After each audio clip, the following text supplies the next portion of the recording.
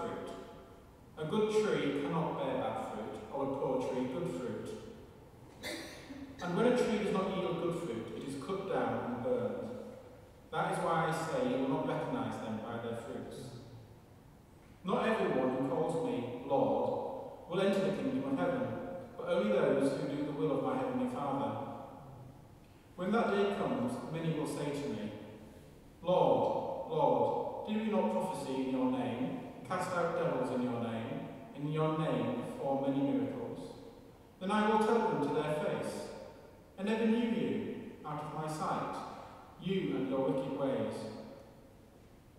What then of the man who hears these words of mine and acts upon them?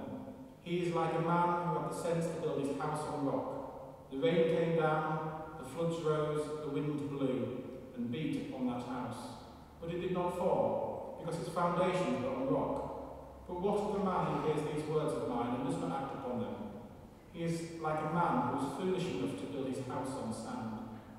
The rain came down, floods rose, the wind blew and beat upon the house. Down it fell with a great crash. When Jesus had finished his discourse, the people were astounded at his teaching.